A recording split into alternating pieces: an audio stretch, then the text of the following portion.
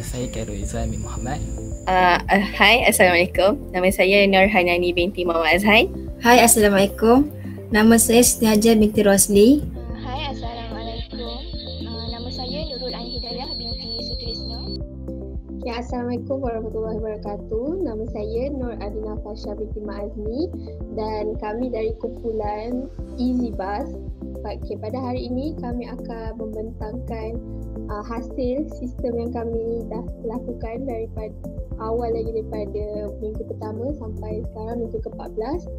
Jadi uh, inilah hasilnya dan kami akan uh, bentangkan kepada puan. Okey. Okey. Uh, ini adalah uh, main page di mana uh, EasyBus punya interface. Uh, Okey, sekarang ni uh, kita akan uh, mula set up dengan customer dulu. Customer akan letakkan username. Contohnya nama username customer uh, Kai. Kemudian letakkan password. Confirm password. Kemudian email address. Group customer kemudian customer akan sign up.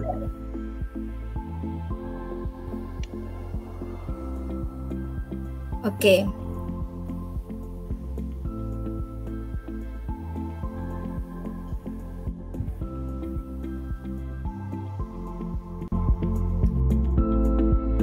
Okay, okay. Uh, bila customer dah uh, log in uh, EasyBus ni, okay, customer boleh tengok uh, sistem-sistem dekat dashboard ini.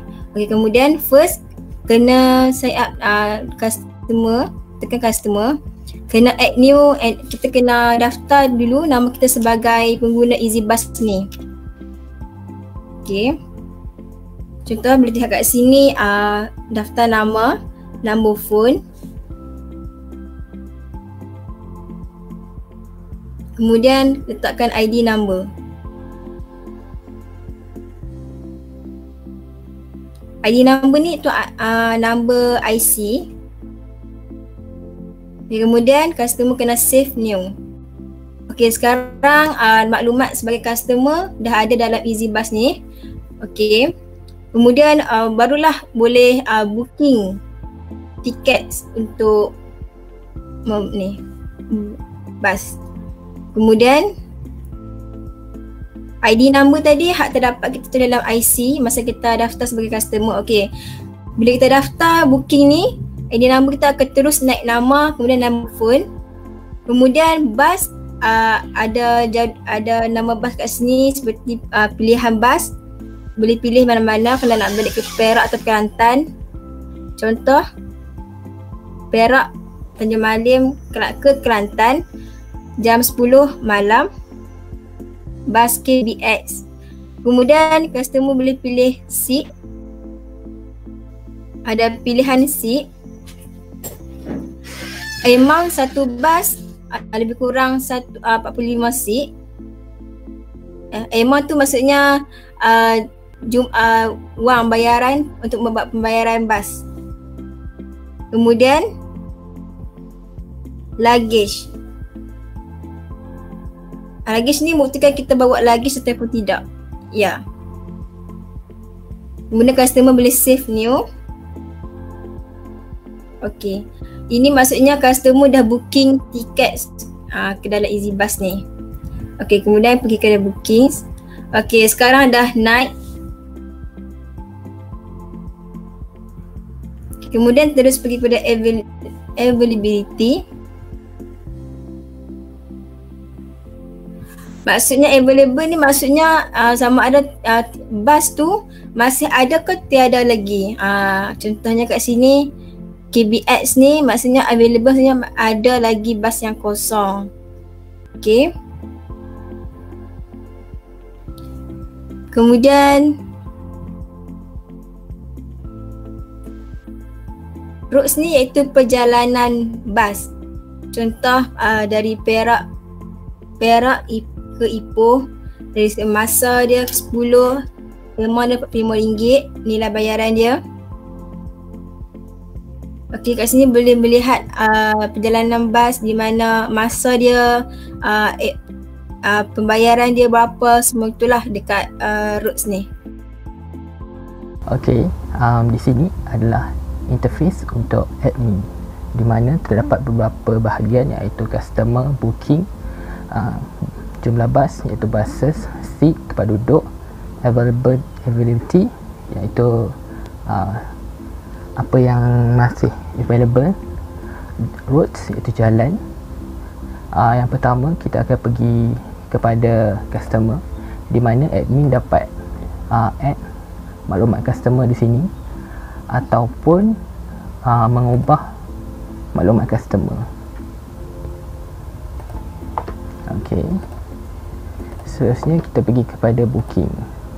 Di sini terdapat list um, customer-customer yang telah booking tiket uh, di mana admin juga dapat edit maklumat sekiranya berlaku perubahan dan juga dapat delete. Di sini uh, di section booking admin dapat delete uh, maklumat customer. Delete semua ataupun apa delete. Ataupun uh, tambah nak update. Di sini uh, admin boleh lakukan. Ok seterusnya kita pergi kepada list bus admin dapat tambah jenis uh, sekiranya ada penambahan bus dan juga boleh delete. Ok seterusnya availability ni adalah um, maklumat tentang tiket tersebut. Adakah tiket tu available atau tidak? Di sini uh, akan dipaparkan. Admin juga dapat ubah sekiranya berlaku perubahan seperti ini. Ini adalah not available. Admin boleh tukar kepada available. Save and change. Ok.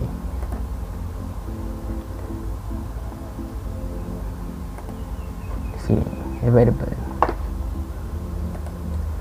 um, jalan ataupun roads sekiranya admin nak uh, tambah uh, kebolehan uh, bas untuk nak tambah um, pergerakan bas untuk bawa penumpang boleh tambah di sini ataupun uh, boleh delete juga. Klik dan more. Ok di sini adalah section di mana uh, segala um, feedback ataupun report daripada customer dikumpulkan.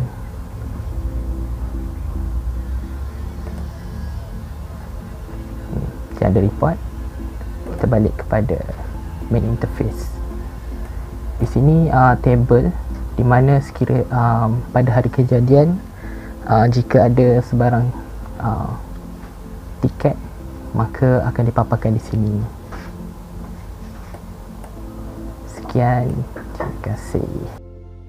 Okey, itu saja dari kumpulan kami. Harap sistem yang uh, kami bangunkan pada untuk projek kali ini uh, sedikit sebanyak dapat membantu pelajar UPSI untuk membeli tiket uh, untuk pulang ke kampung halaman dengan lebih mudah. Sekian, terima kasih.